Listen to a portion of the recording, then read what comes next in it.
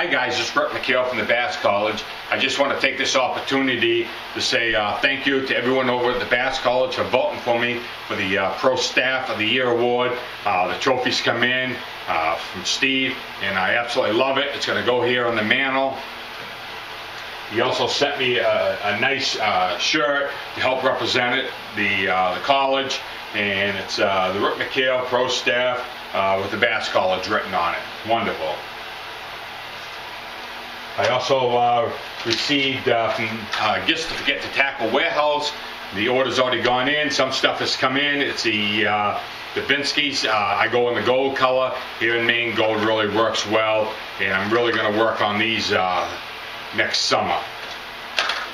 He also threw in some uh, big bite uh, uh, Senkos, perfect size for the uh, springtime fishing.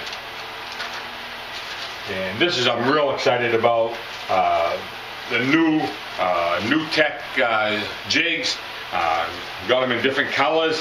What I'm going to do is I'm going to make a video here in the uh, the springtime on these uh, jigs because I really believe these could be the next uh, cat's meow, I guess you'd call it.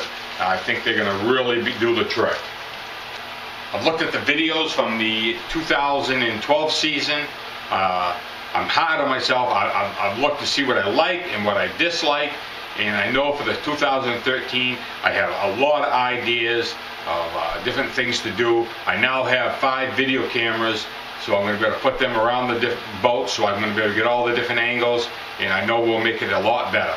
So until next year, to next April, uh, this is Rick McHale from the Bass College. I'll see you guys out on the water.